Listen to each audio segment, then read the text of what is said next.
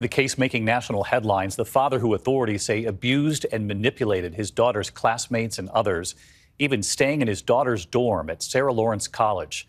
Tonight, hear the chilling details of the abuse. That father is now facing 60 years in prison, and two of his victims are now speaking out to our Linsey Davis. Tonight, we're hearing from two of the victims of Lawrence Ray, the father convicted of manipulating and terrorizing his daughter's friends. Why didn't you leave?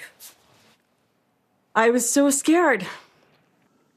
He wouldn't let me sleep. He controlled what I was eating. He would yell at me. He would beat me.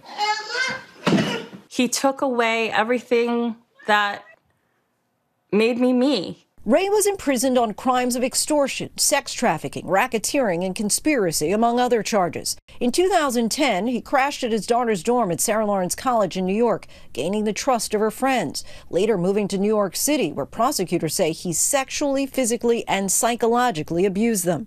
Daniel Levin says Ray hit him with a sledgehammer, held his tongue with pliers, and subjected him to sexual humiliation, saying he acted like a cult leader. People find themselves in abusive relationships, and I was convinced that if I was uncomfortable, if something felt bad to me, that that was because of something that was wrong with me. Felicia Rosario, who did not attend Sarah Lawrence, met Ray through her brother and started a romantic relationship with him. She says Ray emotionally manipulated and abused her. Please help me! What were you feeling in that moment? I don't remember. I've blocked it out. And there's there's so many holes in my memory. But it's hard for me to watch like wow, that's horrible what he's doing to her, but it's it's she, not me. At what point did you decide enough?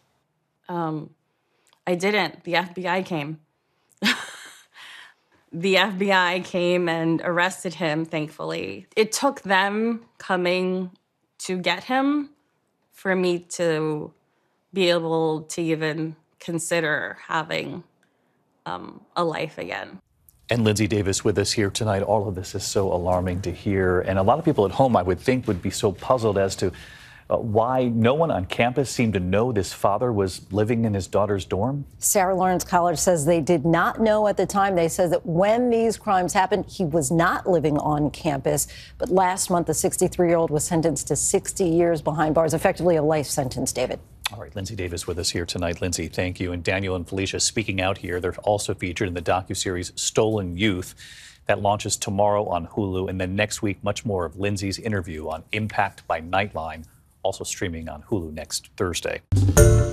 Hi, everyone. George Stephanopoulos here. Thanks for checking out the ABC News YouTube channel. If you'd like to get more videos, show highlights, and watch live event coverage, click on the right over here to subscribe to our channel. And don't forget to download the ABC News app for breaking news alerts. Thanks for watching.